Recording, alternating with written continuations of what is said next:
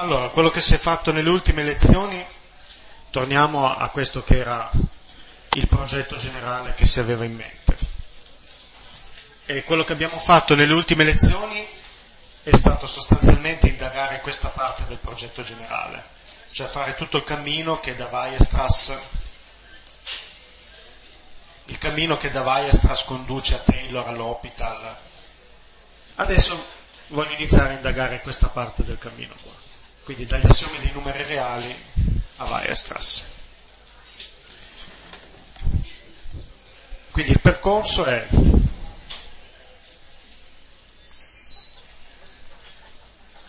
assiomi di R, qui ci sono gli assiomi di R e qui c'è Weierstrass.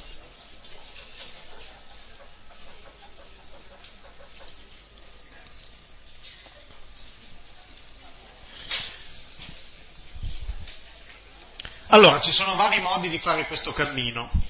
C'è la direttissima, che fa così, diciamo c'è un, un, lungo tunnel che parte dagli assiomi di R, anzi un tunnel nemmeno lunghissimo, che parte dagli assiomi di R e arriva a Weierstrass e poi c'è la via, invece c'è la via alta, diciamo, quella che esamina bene tutta la situazione e fa capire un po' di cose in mezzo. Adesso quella che vedremo, l'esperimento che faccio è quello di mostrarvi la via diretta, cioè partiamo dagli assiomi di R e arriviamo molto velocemente a Weierstrass. Poi però faremo più avanti faremo un'esplorazione di tutto quello che ci sta intorno, perché è interessante anche quello che ci sta intorno e non semplicemente l'obiettivo. Ecco. Quindi gli assiomi di R e Weierstrass, diciamo in mezzo c'è un oggetto, se io passo per la via diretta, in mezzo c'è un oggetto che è Bolzano-Weierstrass. Teorema di Bolzano-Weierstrass. Allora, io adesso non so quale sia veramente l'enunciato di Bolzano-Weierstrass. Io vi enuncio, vi enuncio la cosa centrale, quindi quello che enuncio ora è la parte centrale di tutta la questione.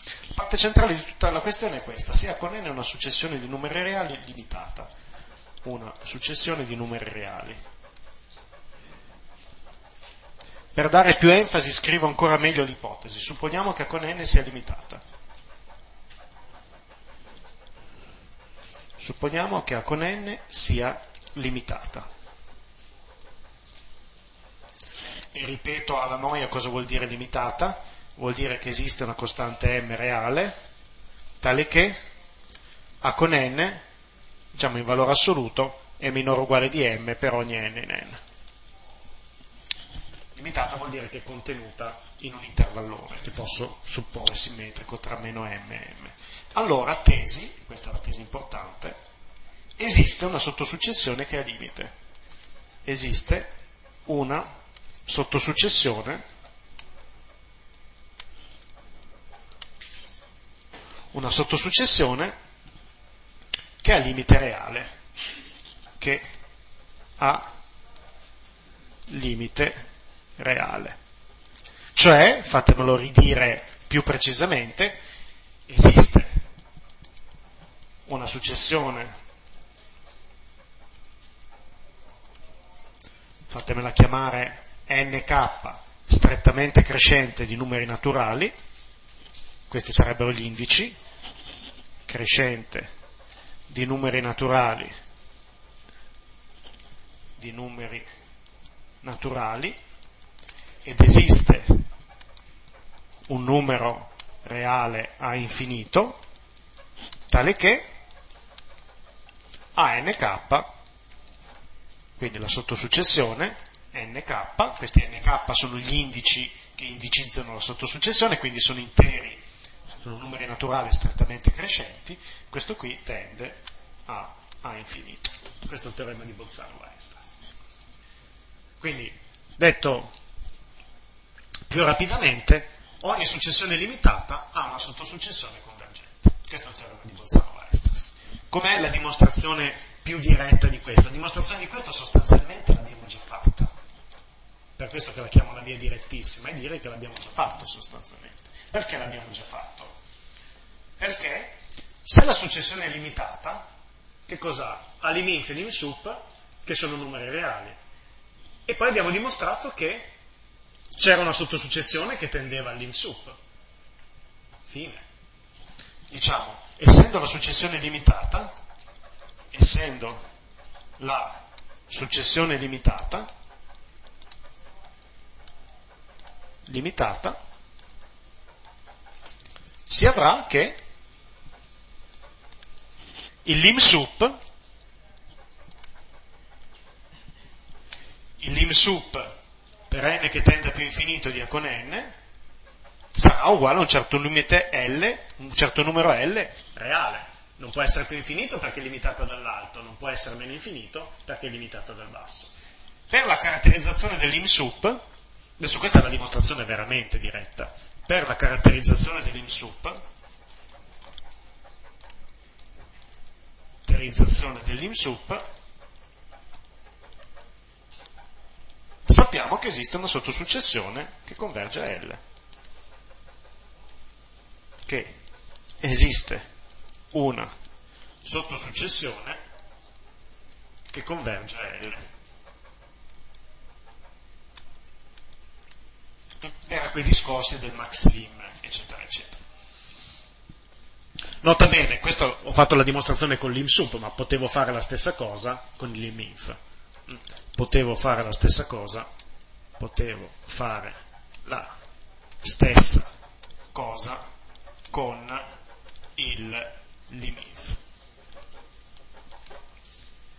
Adesso visto che voglio andare per la direttissima vado avanti, ma poi se ci resta tempo voglio tornare indietro e fare una dimostrazione di questo che non usa il limif e l'imsup. Quindi vorrei dimostrare la stessa cosa dopo senza usare la parola limif e l'imsup. Perché ovviamente qui la fatica, qui sembra un teorema banale, un teorema banale, ma la fatica dove sta? La fatica sta in quel famoso lemma che è l'imsup e max lim la fatica sta tutta là. Così come in fondo, no? Quando, cioè, la prima dimostrazione che vi ho fatto di Taylor sembrava andare via abbastanza lineare, mentre la seconda c'erano quei conti da fare. C'erano quei conti da fare perché conteneva al suo interno tutti gli usi di roll, così, no? Li conteneva tutti nella costruzione di quella funzione G perversa. Comunque adesso andiamo per la direttissima. Teorema successivo, no, teorema è una parola davvero troppo grossa. Corollario. Corollario. Cosa dice questo corollario? Sia contenuto in R un sottoinsieme limitato in chiuso.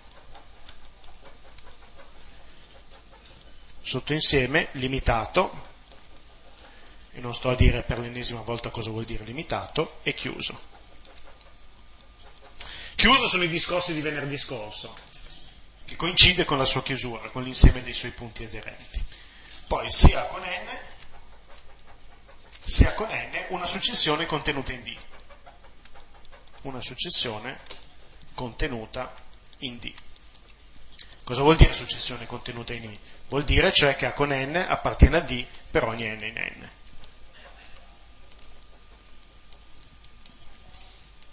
Allora, qual è la tesi?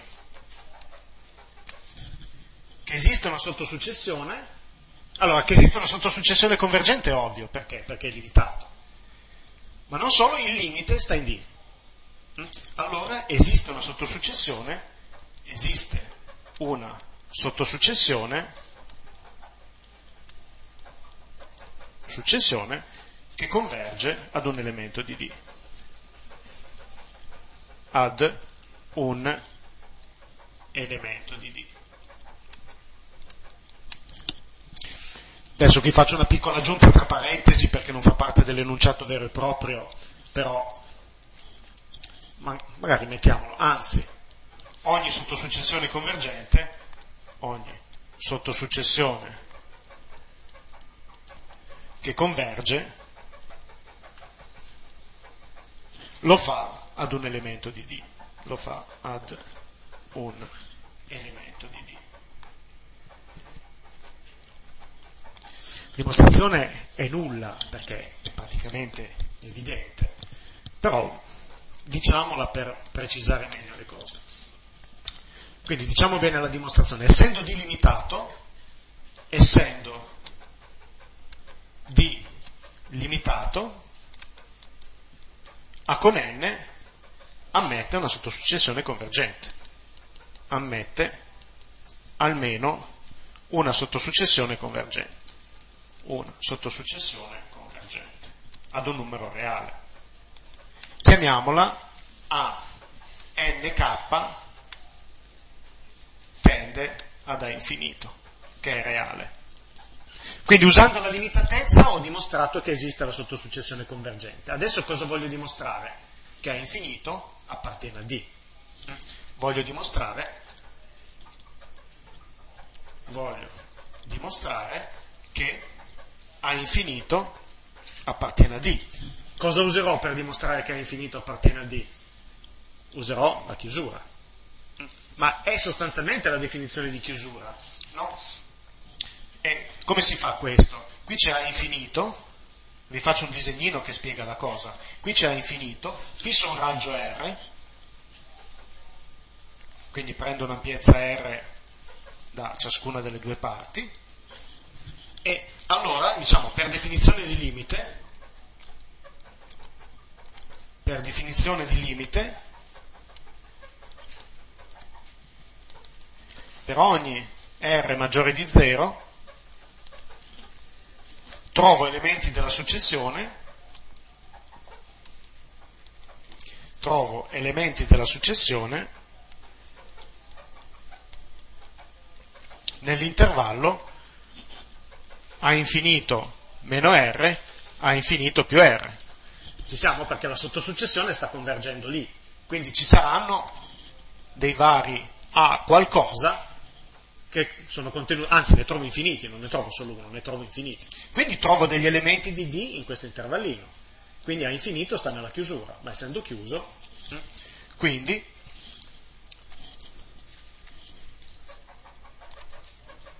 quindi trovo elementi di D perché gli elementi della successione stanno in D per ipotesi, no? per ipotesi gli elementi della successione stanno in D, quindi trovo elementi di D nell'intervallino. Questo per ogni intervallino, ma allora, ma allora A infinito appartiene alla chiusura di D. Ma essendo D chiuso, essendo D chiuso, a infinito appartiene a D, perché coincide con la sua chiusura. Quindi sostanzialmente usando la limitatezza ho la sottosuccessione convergente, usando la chiusura ho che il limite continua ad appartenere a D. Allora tutto ciò merita una definizione, tanto importante, definizione, un sottoinsieme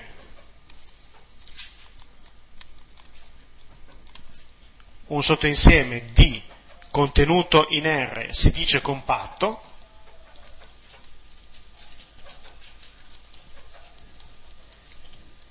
si dice compatto se e solo se, se e solo se è limitato più chiuso.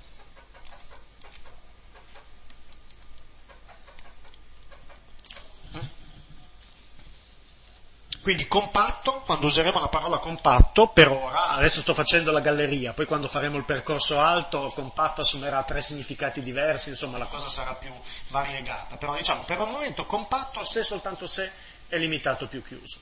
Quindi alla fine, diciamo, corollario, altro modo di dire, quindi rienunciato di quanto detto prima, rienunciato, rienunciato, se D è compatto se D è contenuto in R è compatto e A con N è una successione a valori in D e A con N è una successione a valori in D a valori in D allora per forza allora per forza A con N ammette una sottosuccessione ammette una sottosuccessione convergente ad un elemento di D. Convergente ad un elemento di D. Ci siamo? Vi faccio notare il doppio ruolo della limitatezza e della, e della, chiusura. La limitatezza garantisce l'esistenza della sottosuccessione convergente, la chiusura garantisce che il limite continua a essere nello stesso insieme. E beh, giunti qui, direi che siamo pronti per Weierstrass. Teorema di Weierstrass, vero, non edulcorato. Vero, vero è una parola grossa. teorema di Weierstrass unidimensionale per funzioni continue, poi un minimo lo generalizzeremo. Sia D contenuto in R e sia F da D in R. Supponiamo che già che ci sono, ne approfitto per darvi una piccola dritta per quando fate un orale, no? Se qualcuno vi chiede un enunciato di un teorema, voi dovete avere in mente tre cose. Contesto, ipotesi, tesi. Contesto, di cosa sto parlando, sia di contenuto in R e una funzione. Supponiamo che, ipotesi, e poi ci sarà la tesi. Se avete in mente questa tripartizione già riuscite a fare un enunciato decente. Tenete presente che qualunque simbolo che scriviate deve essere stato introdotto in sede di contesto. Quindi R è una cosa di cui si parla dalla vita, quindi va bene, D l'ho introdotto, F l'ho introdotto. Quindi adesso non posso parlare più di nient'altro che non abbia introdotto nel contesto. Supponiamo che 1, D è compatto. Mm? Nell'ipotesi si condensano le cose essenziali, che poi andranno usate durante la dimostrazione. 2, F è continuo. F è continuo. Allora, tesi, esistono per forza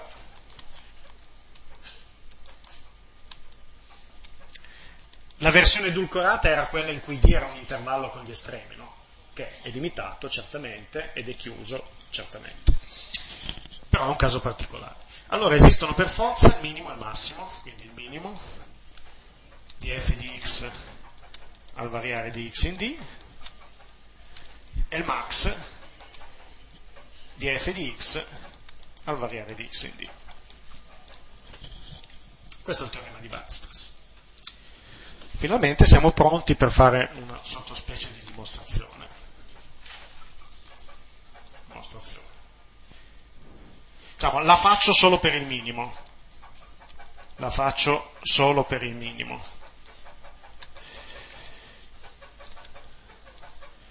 La faccio solo per il minimo perché per il max è uguale.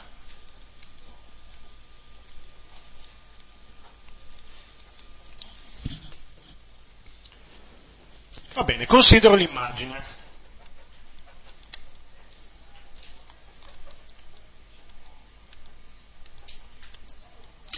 Considero l'immagine. Che cos'è l'immagine della funzione? È questa cosa qui scritta qui. Mm? Questa qui è l'immagine della funzione. Quindi sono i valori, le y assunte quando x varia nell'insieme D. Allora noi non sappiamo che è minimo, però sicuramente cosa avrà? Inf. Sicuramente esiste, perché sui numeri reali l'inf esiste sempre, sicuramente esiste, esiste i è uguale all'inf dell'immagine di f di x al variare di x in d.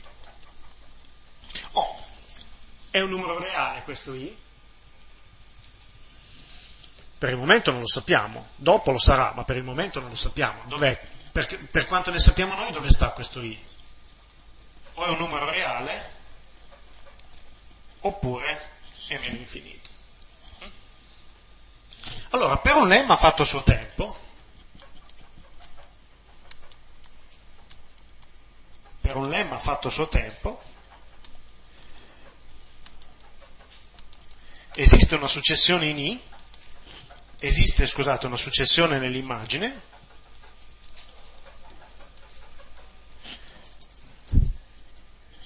Di punti.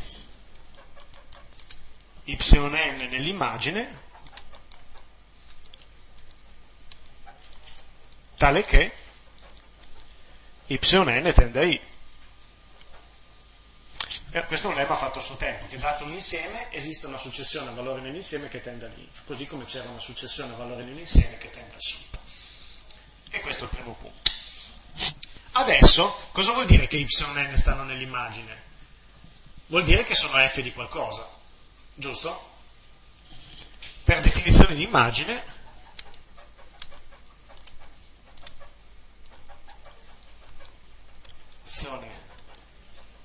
di immagine, esistono x con n, esistono x con n appartenenti a D, tale che f di x con n è uguale a yn. Cioè, i pezzi dell'immagine sono f di qualcuno in partenza. Magari dato, x, dato yn ce n'è più di uno x con n, non è obbligato che sia unico, però almeno uno c'è per definizione di immagine. Adesso questi x con n stanno in D, quindi da questi c'è la sottosuccessione convergente. Ora, poiché D è compatto, poiché D è compatto, esiste una sottosuccessione, esiste una sottosuccessione convergente.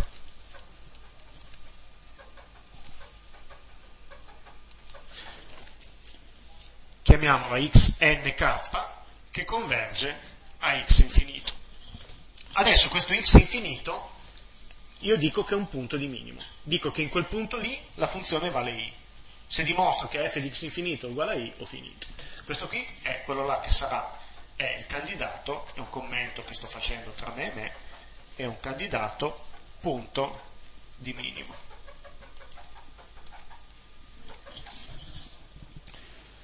Quindi ora voglio dimostrare, voglio dimostrare che f di x infinito, f di x infinito è uguale a i. Se dimostro che f di x infinito è uguale a i, ho finito, perché c'è un punto in cui vale l'inf, e quindi è un punto di minimo. Se lo faccio finito. Allora, come faccio a dimostrare che f di x infinito è uguale a i? Che cos'è che non ho ancora usato? La continuità della funzione f. D'altra parte, e questa è la maniera di concludere, d'altra parte, per la continuità di f, per la continuità di f di x, si avrà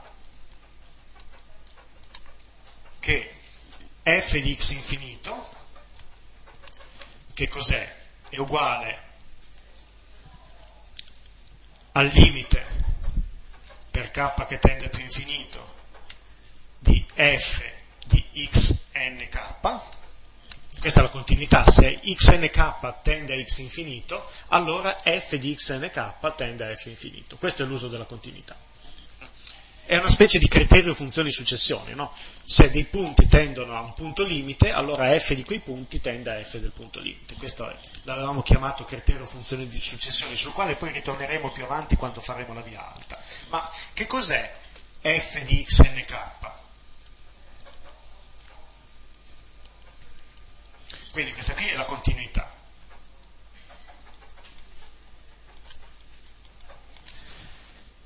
Che cos'è f di xnk?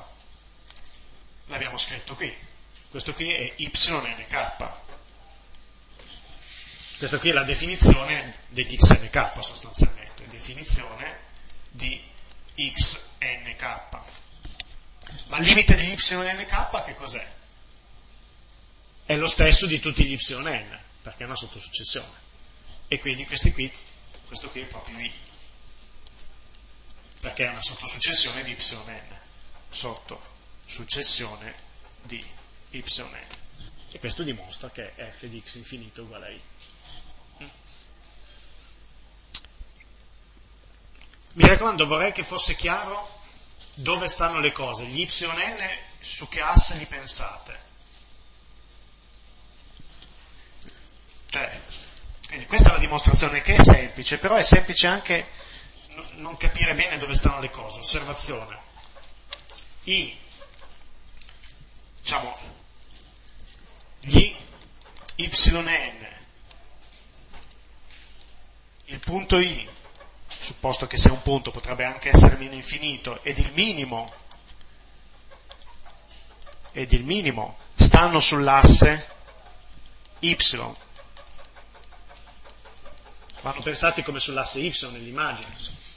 Gli x con n stanno nella base, gli x con n stanno sull'asse x, gli x con n stanno sull'asse x ed in particolare ed in particolare in D. Quindi è una dimostrazione questa che alterna il sopra e il sotto, diciamo. Io so che esiste l'inf, l'inf lo approssimo con una successione yn che sta nell'immagine, ma gli yn si tirano dietro gli xn, gli xn convergono e allora poi si chiude il cerchio. Questa è la dimostrazione. O per la cronaca, gli x con n si chiamano, gli yn si chiamano, altra osservazione, gli x con n, gli x con n si chiamano successione minimizzante. Successione minimizzante. Successione minimizzante che sarebbe giusto chiamare successione infizzante in un certo senso, perché qual è la proprietà degli x con n? Perché f di x con n, che sarebbero gli yn, questi tendono a i che sarebbe l'inf. Quindi sarebbe giusto chiamarli successione infizzante, perché tendono, i valori tendono all'inf. Ah, nota bene, questo dimostra che i non può essere meno infinito, perché è il valore assunto dalla funzione in un punto. Solo ora, magari mettiamolo come commento, solo ora, solo ora si esclude, si esclude che i possa essere meno infinito. Solo alla fine i smette di essere meno infinito. E va bene. Adesso cosa voglio fare? Adesso voglio fare la cosa che avevo annunciato prima, cioè voglio fare una dimostrazione classica di Bolzano-Weierstrass che magari di questa versione qui, di quello che ho chiamato Bolzano-Weierstrass qui, che non usi, che non passi dall'IMSUP.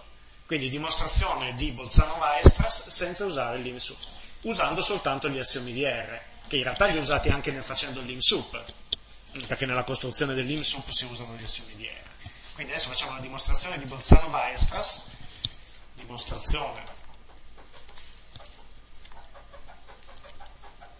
di Bolzano-Weierstrass usando, cioè senza usare l'IMSUP, senza usare il LIMSUP. Questo ovviamente è più difficile da capire, però non sta nascondendo la polvere sotto il tappeto. Nell'altra dimostrazione il casino c'è, ma è tutto contenuto nel, nell'usare che l'IMSUP è uguale al maximin, cioè la successione la dà gratis un lemma precedente. Invece qui va costruita con le mani. Quindi Bolzano Weistra senza usare l'IMSUP. Quindi per ipotesi cosa sappiamo? Per ipotesi abbiamo una successione limitata. Per ipotesi abbiamo solo una successione limitata. Una successione A con n con meno m minore o uguale di A con n minore o uguale di m. Quindi qui c'è un intervallone centrato nell'origine ma la cosa del tutto irrilevante, qui c'è meno m, qui c'è m, e c'è una successione che vive qui dentro. Adesso, chi è il candidato? Punto limite. Allora, si può fare in varie maniere. Voglio usare gli assiomi dei numeri reali, quindi dovrò scrivere la parola sup o la parola if. Volete che scrivo sup o che scrivo if? Scriviamo sup. Allora pongo a infinito, quindi faccio una dimostrazione scrivendo la parola sup. Per esercizio la potrete rifare scrivendo solo la parola if. A infinito, due punti uguale. Questo è il trucchetto.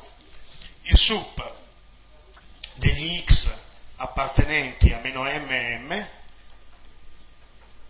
e seguite l'idea qui perché è carina, tale che A con n è maggiore o uguale di x per infiniti indici n.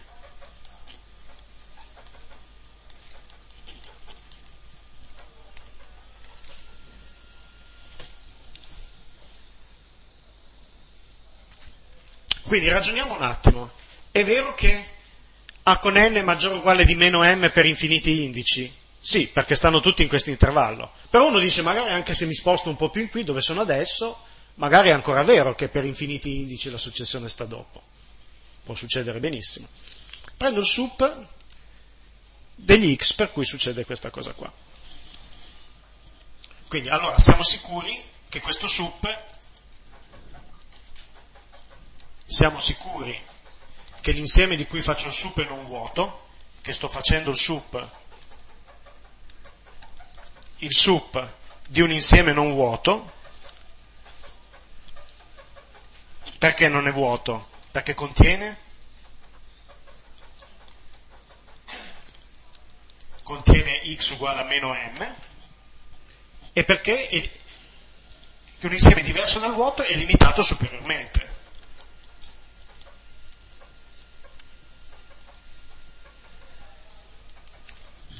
Perché è limitato superiormente? Certamente questo insieme non contiene punti sopra a m grande, perché la successione sta tutto prima.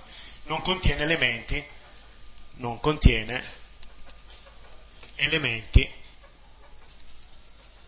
maggiore stretto di m. Quindi diciamo per forza, quindi già siamo contenti, quindi a infinito appartiene ad R. Adesso voglio costruire una sottosuccessione, dico che esiste una sottosuccessione che converge all'infinito. Dico che esiste una sottosuccessione che converge ad infinito. Quindi esiste una sottosuccessione a nk che converge ad infinito. Adesso seguitemi, seguitemi sul disegno. Se capite il disegno è capito tutto. Qui c'è A infinito. Non so dove sta, potrebbe addirittura essere il primo, potrebbe essere addirittura l'ultimo, potrebbe essere in mezzo, non so dove sta. Adesso fissiamo un, un epsilon e facciamo un intornino così. Quanti sono gli elementi maggiori di questo? Quanti sono gli indici della successione? Nota bene la finezza. Io sto dicendo per infiniti indici, non ho detto che ci sono infiniti termini della successione. La successione potrebbe anche essere costante. No? La successione può assumere solo tre valori, però a quel punto li assume per infiniti indici. Quel che conta sono il numero di indici. Quanti sono gli elementi maggiori di questo qui che sto indicando?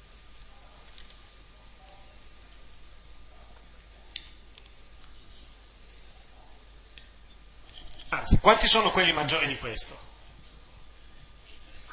Sono un numero finito, perché se no il sup non sarebbe quello. Quanti sono quelli? Quindi maggiori di questo sono un numero finito, quindi minori di questo sono infiniti. Quanti sono maggiori di questo? Infiniti sostanzialmente. Quindi quanti sono che cascano in questo intornino? Infiniti, per ogni intornino. Quindi ora restringo l'intornino, ogni volta ne trovo uno nuovo e ho la sottosuccessione. Questa è l'idea. Quindi, allora adesso il fatto fondamentale, diciamo il fatto fondamentale, fatto fondamentale è questo. Fondamentale è questo, che per ogni epsilon maggiore di 0, per ogni epsilon maggiore di 0, esistono infiniti indici, esistono infiniti indici n per cui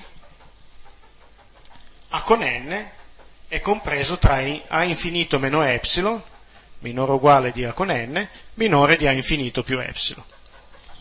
Questo è il fatto fondamentale. Quindi per ogni epsilon, comunque faccio un internino come ho fatto quello arancione, ci sono infiniti indici per cui la successione casca dentro. Perché abbiamo detto, abbiamo detto, se così non fosse, questo perché?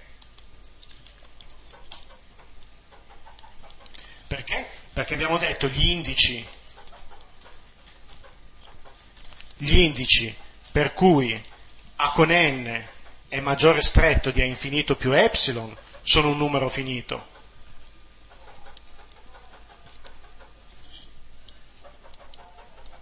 Perché altrimenti A infinito sarebbe più grande. Gli indici per cui a con n è maggiore o uguale di a infinito meno epsilon, sono infiniti.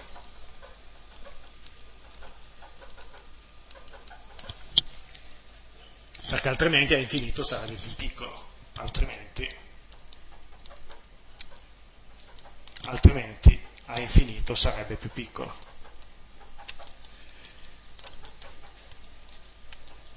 Ci siamo? Se avessi soltanto un numero finito maggiore di questo qui, allora vorrebbe dire che già questo non va bene quando vado a fare questa definizione e quindi l'inf sarebbe, quindi il sub sarebbe più basso. Va bene, ora, ora costruisco la sottosuccessione. Costruisco ora la sottosuccessione. Costruisco ora la sottosuccessione ANK che converge ad A infinito. E la costruzione è sempre la solita, con questo algoritmo.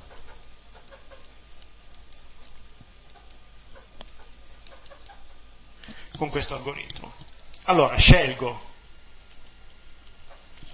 il primo che devo scegliere è AN0, scelgo AN0 a caso. Poi, supponendo di aver scelto, fatemi fare un passaggio, no dai, supponendo di aver scelto